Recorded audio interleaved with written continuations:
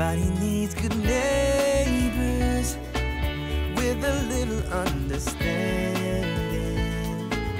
You can find the perfect plan. Neighbors should be there for one another